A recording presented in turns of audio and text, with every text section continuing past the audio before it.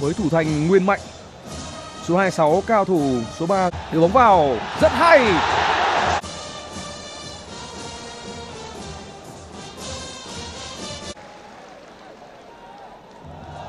sáu mươi sáu Hạ Long và số 3 đó là Dương Thanh Hào.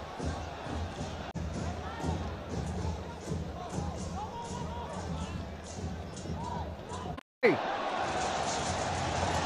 Và không chỉ bóng tốt của Minh Trung.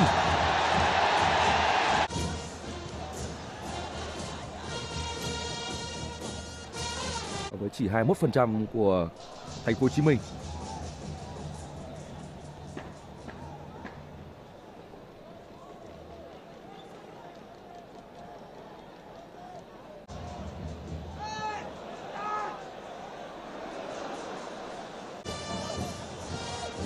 Đoàn quân của huấn luyện viên Vũ Tiến Thành trong trận đấu mở được thực hiện bởi FPT Play trong à, 5 mùa giải liên tiếp từ 2023 tới 2027.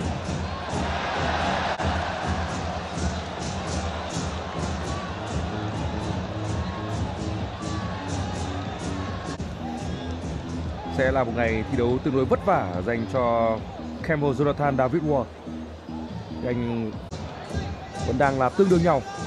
Về tỷ lệ kiểm soát bóng thì thép xanh Nam khoảng trống dành cho các thép xanh Nam Định. Rất đặc, xâm nhập rất nhanh.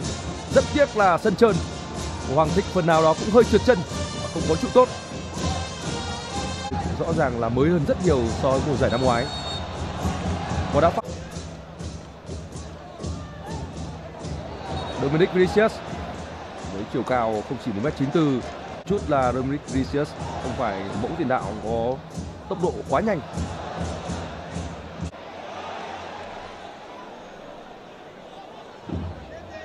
À, xử lý an toàn tới từ Jonathan. Một bài đánh mà chúng ta đánh rất nguy hiểm. Lại dứt điểm không vào. Một này cũng đã có bốn tình huống với đường truyền trả ngược lại như thế này. Người đưa bóng vào là Hồ Khắc Ngọc. Ngon ăn, Dominic Vinicius.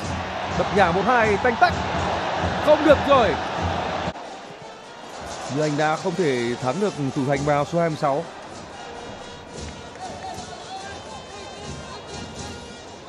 Jonathan David Ward. Nam Định cũng chứng tỏ được giá trị của mình khi có được pha cứu thua. Sau cú dứt điểm bằng chân trái của Green Daniel Michael 23 Hoàng Vĩnh Nguyên. Trọng Trí là người rời sân.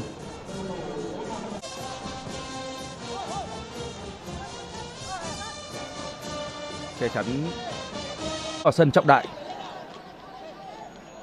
Thủ mao số 77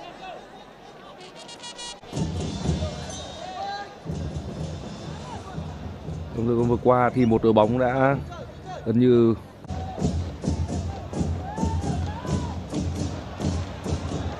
không được. Trong vai trò là bóng đá xoáy ra ngoài sân. Quả đá biên cho thép xanh nam định. Nó chạm chân một cầu thủ của thành phố hồ chí minh.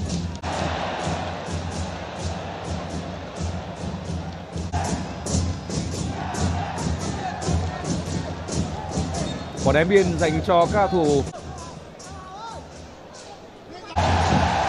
Henrio với đường truyền tới vị trí của W. Campbell, Jonathan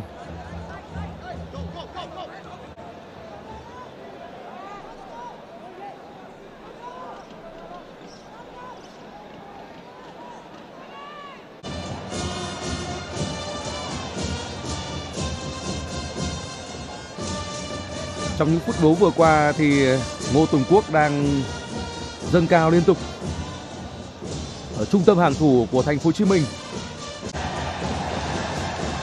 Hà Long.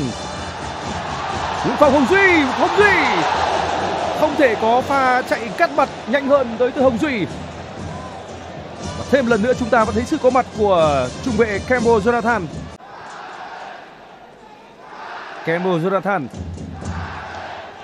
Ngô Tùng Quốc.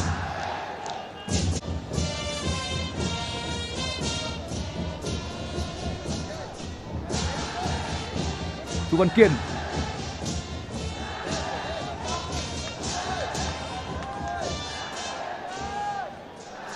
Green Daniel Michael Đôi khi được đẩy lên cao hơn nhưng cũng tương đối đói bóng. Ngô Tùng Quốc. Năm 1996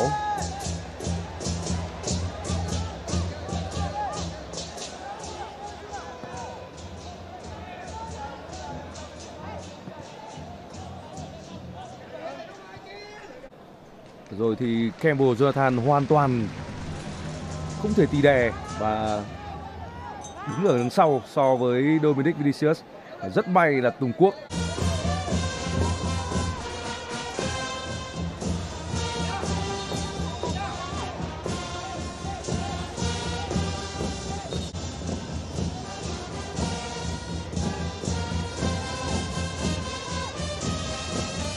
mới vào sân nên rõ ràng thể lực của đào quốc gia là tương đối tốt.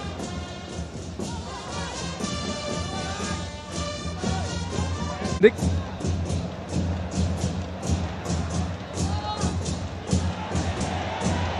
cú đá trúng cầu môn là những thông số của đội chủ nhà. Chơi lúc này, Hồ Chí Minh sau pha đối mặt của Green Daniel Michael. Thẻ vàng dành cho Campbell Jonathan.